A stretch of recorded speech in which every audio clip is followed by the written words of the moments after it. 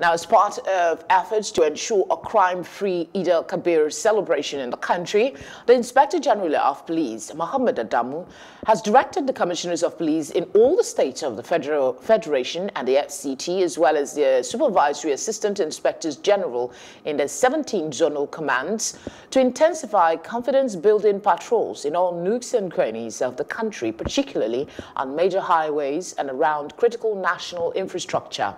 In a statement made available to newsmen in Abuja on Thursday by the Force Public Relations Officer Frank Mba,